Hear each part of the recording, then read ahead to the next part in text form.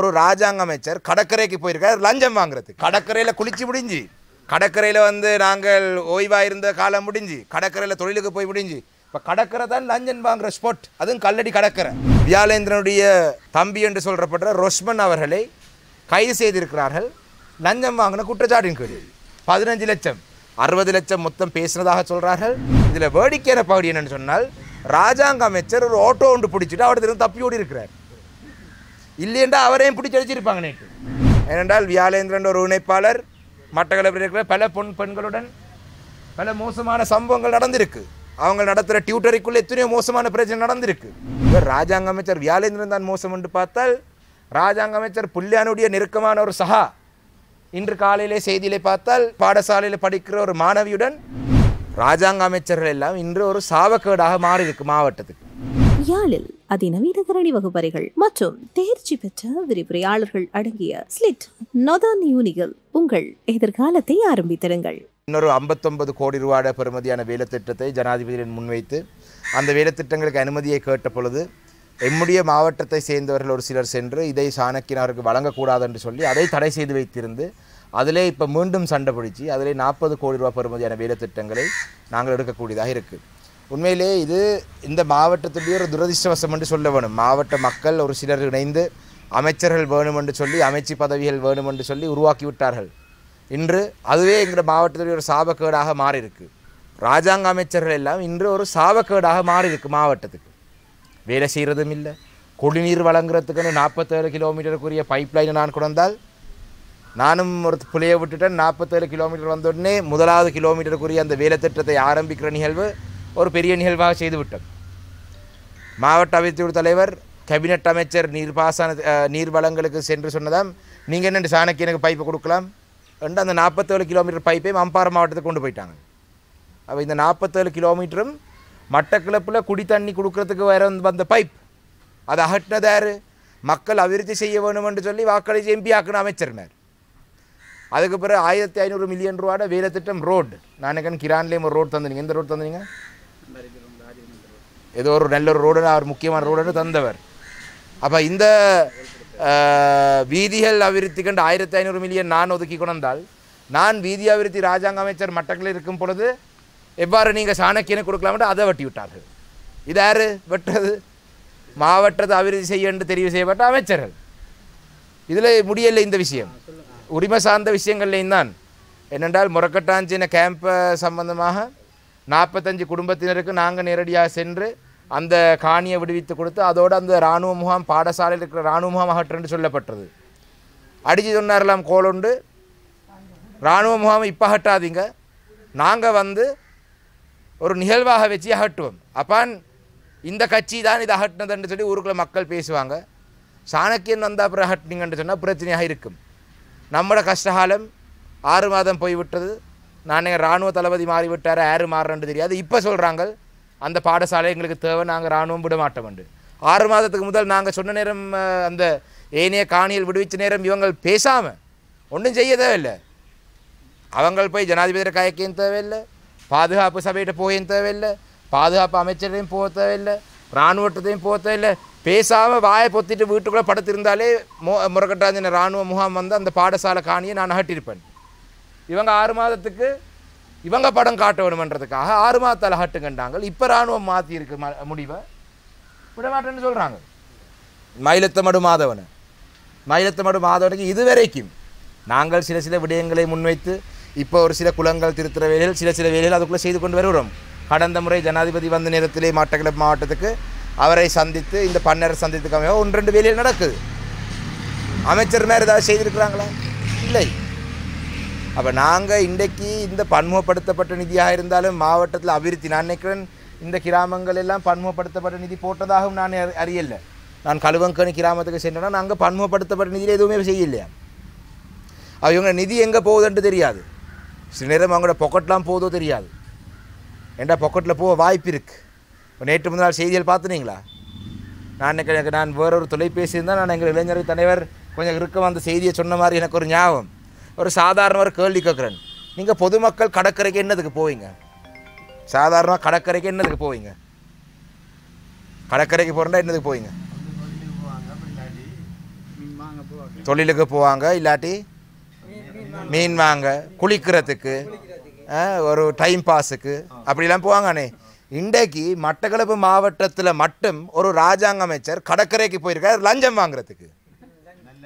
லஞ்சம் வாங்குறது. இப்போ கடற்கரையில் வந்து குளி கடற்கரையில் குளிச்சு முடிஞ்சு கடற்கரையில் வந்து நாங்கள் ஓய்வாக இருந்த காலம் முடிஞ்சு கடற்கரையில் தொழிலுக்கு போய் முடிஞ்சு இப்போ கடற்கரை தான் லஞ்சம் வாங்குற ஸ்பாட் அதுவும் கல்லடி கடற்கரை.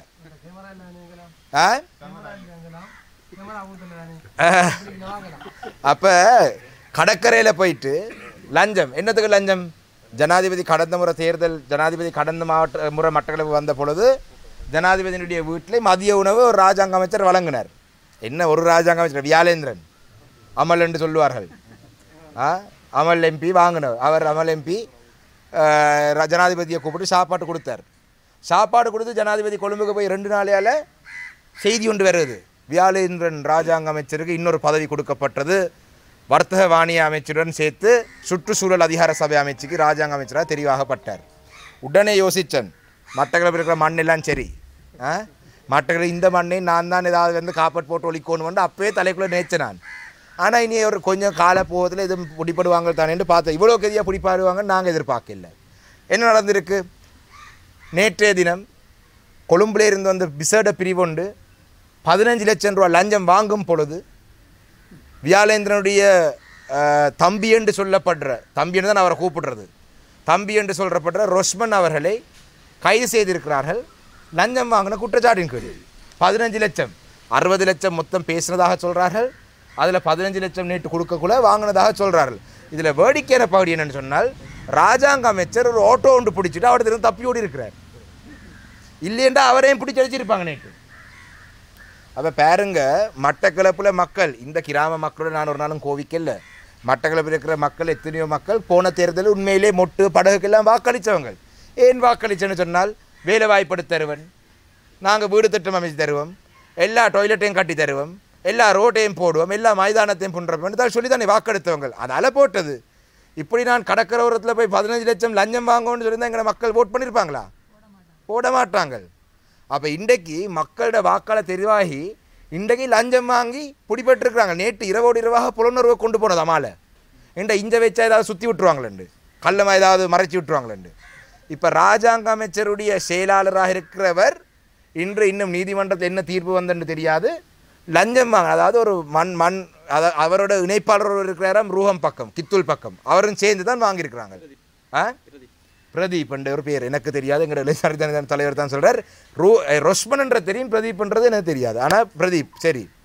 அப்போ பாருங்க மக்களோட வாக்காள தெரிவாகி நாங்கள் என்ன செய்கிறோம் இராணுவ முகாம் அகற்றுறது புள்ளியான் பொண்டை வட்டவான்லே வந்து எழுநூறு பேர் ரெண்டாயிரம் பேர் பாவிக்கிற ஓடையை வந்து அடைச்சி தங்கட வேண்டப்பட்ட ஆக்கள் கொடுக்கக்குள்ள அதை எதிர்த்து போராட்டம் நடத்துறது? இலுமினைட் வேண்டாம் என்று மக்களோட நின்று போராட்டம் நடத்துறது? பார் பெர்மிட் வேண்டாம் என்று போராட்டம் நடத்துறது? மயிலத்தமிழில் மேய்த்து தர வேண்டும் என்று போராட்டம் நடத்துறது? பாராளுமன்றத்தில் போய் தமிழ் மக்களுடைய அரசியல் உரிமைக்காக பேசுறது? ஜனாதிபதியோட பேச்சுவார்த்தையில் ஈடுபடுறது? அதோடு சேர்த்து கிரானில் இருக்கிற ஆலயங்களுக்கும் எங்களால் முடிந்த வரைக்கும் நிதி ஒதுக்குறது. அபிவிருத்தி நாங்கான் செய்கிறோம். உரிமை சார்ந்த விடயங்களை நாங்கள் செய்கிறோம் இவங்க செய்கிறது அவ்வளோ களவு வேலை மட்டும்தான் செய்கிறாங்க. சரி வியாலேந்திரன் இது நேற்று இன்றைக்கு தொடங்கின விஷயம் இல்லை. இதுக்கு ஒரு வருஷத்துக்கு முதல் வியாலேந்திரன் சொந்த தம்பி சதாசிவம் மயூரன். இதே மாதிரி கேமரா வச்சு செட் பண்ணி ஆளை பிடிச்ச கல க- லஞ்சம் வாங்கி.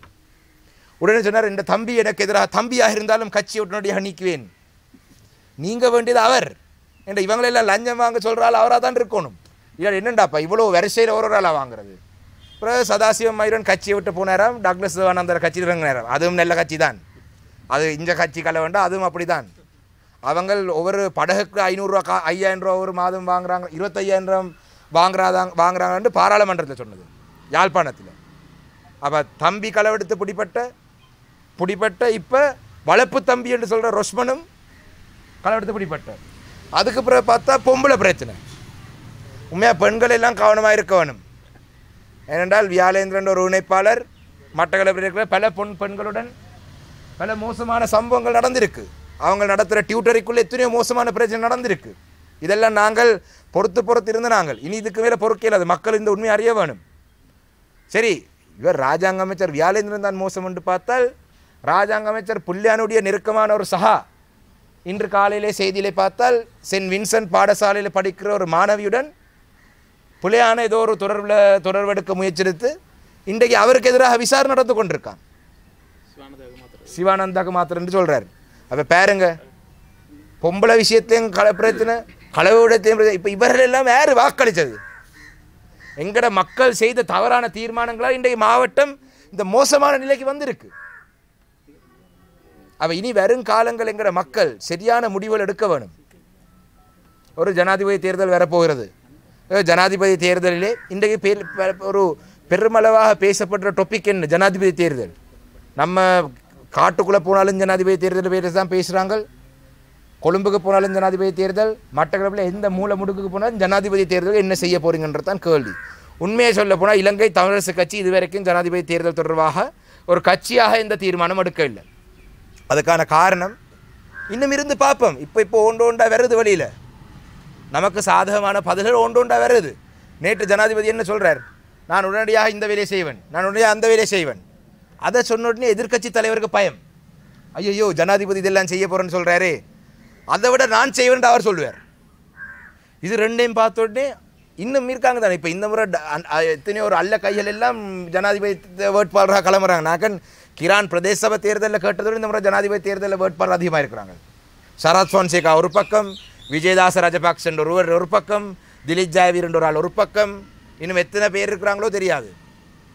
அப்போ எல்லா வேட்பாளரும் தமிழ் மக்களோட பிரச்சனைக்காக நாங்கள் இதை செய்வோம் அதை செய்வோம். இன்னும் இன்னும் சொல்லட்டும். நமக்கு நல்லது தானே? இதில் ஒரே ஒரு பிரச்சனை இருக்குது சொல்கிறதெல்லாம் செய்வாங்களேன்னு இல்லை. சொல்கிறதெல்லாம் செய்ய வைக்க வேண்டியது எங்கட பொறுப்பு எங்கட கடமை முயற்சி. எழுபத்தஞ்சு வருஷமாக எங்களை ஏமாற்றி கொண்டு தான் இருக்கிறாங்களா அதுக்கு நாங்கள் விடலாமா? இன்றைக்கு இந்த ரெண்டு அமைச்சர் மேலே உருவாக்கி இந்த மாவட்டத்தில் படுற கஷ்டம் நாங்கள் தொடர்ந்து அனுபவிக்கல அது நாடு முழுவதும். ஏனென்றால் இன்றைக்கு ஒரு சின்ன ஒரு உதாரணம். இன்றைக்கு நாங்கள் வந்து ஒரு சுகாதார அமைச்சராக மட்டக்களப்பு ஒரு சேர்ந்தொரால் வந்தால் அவர் சுகாதாரத்துறையில் இருக்கிற எல்லா பிரச்சனையும் பார்க்கலாம். ஹாஸ்பிட்டல் கட்டலாம் சுகாதாரத்துறை. அவரால் ஏழுமா பாடசாலை பிரச்சனையை பார்க்க? அதுக்கு கல்வி அமைச்சர் வேணும். சரி ரெண்டும் பார்க்குறாருன்னு சொன்னால் நீர்ப்பாசன திட்டங்கள் வேலைகள் பிரச்சனை வந்தால் சுகாதார அமைச்சரும் பார்க்கலாது கல்வி அமைச்சரும் பார்க்கலாது அதுக்கு வேறு ஒரு அமைச்சர் வேணும். அப்போ நீங்கள் நினைக்கிறீங்களா சிங்கள மக்கள் எல்லாருமா சேர்ந்து தமிழ் மக்களுக்கு எல்லா அமைச்சு பதவியும் கொடுப்பாங்கண்டு? கொடுப்பாங்களா? அதாவது பெரும்பான்மையாக வாழ்கிற சிங்கள மக்கள் முத் முப்பது அமைச்சு பதவியண்டா அதில் தமிழாக்களுக்கு முப்பது பதவியும் கொடுப்பாங்களா? இல்லை. இதனால தான் நாங்கள் தமிழ் மக்கள் பெருமளவான வா வா வாழ்கிற எங்களுடைய வடக்கு கிழக்கு மாகாணங்களில் ஒரு எங்களை நாங்களே ஆளக்கூடிய ஒரு முறையாக ஒரு நிர்வாக கட்டமைப்பு ஒரு அதிகார பகிர்வுடாக எங்களுக்கு வேண்டுமென்று நாங்கள் சொல்கிறோம் இந்த அதிகாரங்கள் எங்களோட மாகாணங்களுக்கு வரும் என்று சொன்னால் எங்களோட தமிழ் தமிழ் பிரதிநிதிகள் தான் மாகாண மட்டத்தில் கல்வி அமைச்சரும் ஒரு தமிழராக இருப்பார் சுகாதார அமைச்சரும் தமிழராக இருப்பார் நீர்ப்பாசன அமைச்சர் ஒரு தமிழராக இருப்பார். அப்போ இப்படியான ஒரு நிலைமை வரும் பொழுது இந்த மாகாணங்களுக்கு எங்களோட சபைகளுக்கு அதிகாரங்கள் இருக்கும் என்று சொன்னால் நாங்களே எங்களை ஆளலாம். இல்லாமல் நாங்கள் ரெண்டு மூன்று அமைச்சர் மேலே உருவாக்கினால் கடற்கரையில் லஞ்சம் வாங்குறதுக்கும் பாடசாலையில் இருக்கிற மாணவிகளுடன் அவங்க ஷர்ட் விடுறதுக்கு அவங்க நினைப்பாக இருக்கும் சந்தர்ப்பத்தை இருப்பதை மட்டும்தான் நாங்கள் செய்வோம். அப்போ இதங்கிற மக்கள் சரியாக மனதிலே தெளிவாக பதிஞ்சிருக்க வேணும். அப்போ இந்த ஜனாதிபதி தேர்தல் தொடர்பாக தமிழ் மக்களாகி நாங்கள் என்ன செய்வதுன்றது பெரும் ஒரு பெரும் மக்களுக்கு ஒரு குழப்பமாக இருக்குது நாங்கள் அவசரப்பட தேவையில்லை நாங்கள் அவசரப்படவே தேவையில்லை. இந்த பதினஞ்சாம் தேதி வரைக்கும் ஜனாதிபதியாக யார் போட்டி போட போகிறாங்கன்றது எங்களுக்கு இன்னும் தெரியாது. சிலர் சொல்கிறாங்க ரணில் விக்ரமசிங்க கேட்க மாட்டாருண்டு.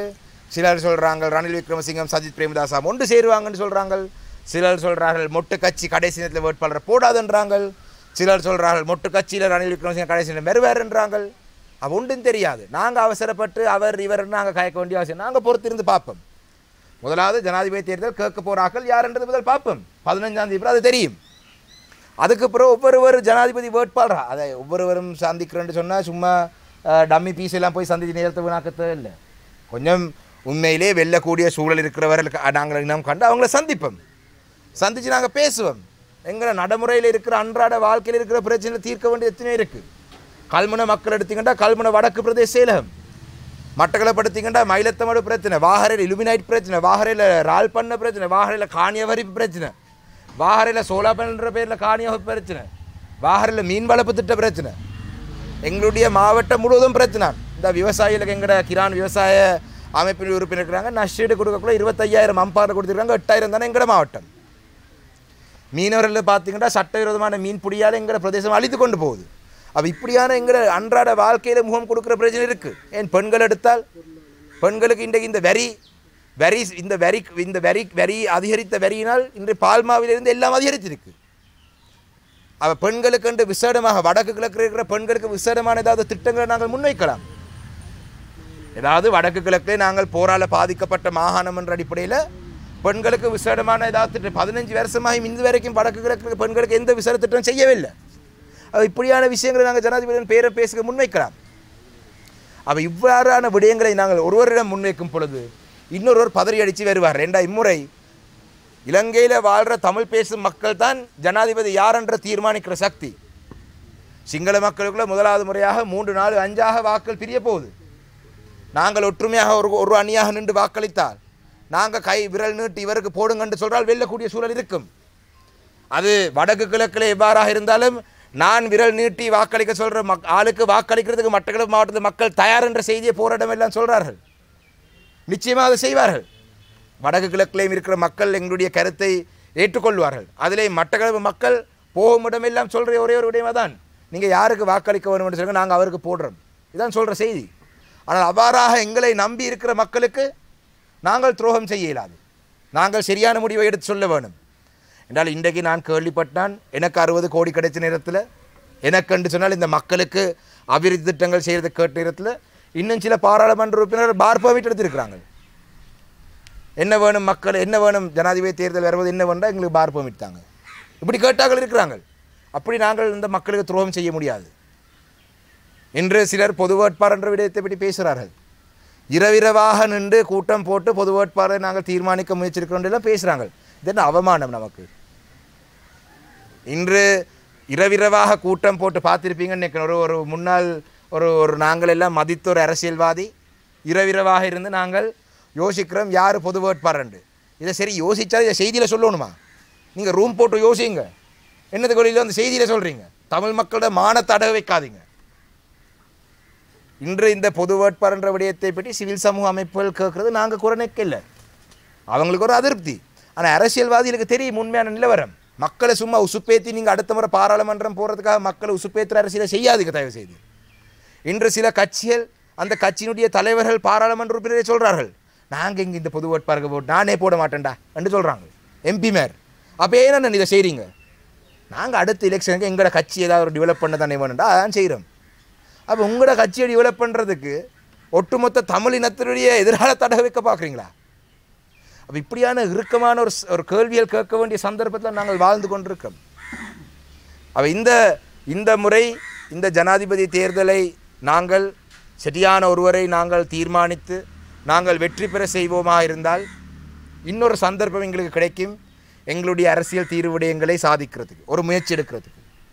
இல்லை நாங்கள் கோவிச்சு போட்டு நாங்கள் ஒவ்வொருக்கும் வாக்களிக்க மாட்டோம்னு சொன்னால் அடுத்த அஞ்சு வருஷம் இதே மாதிரி தான் சும்மா இருக்க வேண்டியதாக வரும். அதனைத் தொடர்ந்து யார் ஜனாதிபதியாக வந்தாலும் என்னுடைய பார்வையில் பாராளுமன்ற தேர்தல் வரும். இனியும் ஒரு பாராளுமன்ற தேர்தலில் எங்களுடைய மக்களை காட்டி கொடுத்தவர்கள் இந்த ஊழல்வாதிகள் இந்த மோசடியிலே ஈடுபடுறவர்கள் கடற்கரையிலே கமிஷன் வாங்குறவர்கள் கடற்கரையிலே லஞ்சம் வாங்குறவர்கள் இவர்களை எங்களை மக்கள் தெரிவு செய்வார் என்று சொன்னால் அதுக்கு பிறகு என்னாலேயும் இந்த மாவட்டத்தை காப்பாற்ற இயலாது. கடந்த ஐந்து வருடமும் வேறு ஒரு வேலையும் செய்யாமல் திருடர் போலீஸ் வேலை மாதிரி தான் சின்ன வயசில் விளையாடி இருப்பீங்க ஒரு ஆள் திருடர் ஒரு ஆள் போலீஸ். என்ன? போலீஸுக்கு வேலை என்ன? திருடர் பிடிக்கிறது. அதை மாதிரி தான் திருடர் போலீஸ் வேலை அஞ்சு வருஷமாக செய்திருக்கேன் நான். இங்கே இருக்கிற மக்களுக்கு தெரியும். இந்த வசந்தன் இருக்கிறார் வசந்தோட எத்தனை இடத்துல நாங்கள் போயிருக்கிறோம்?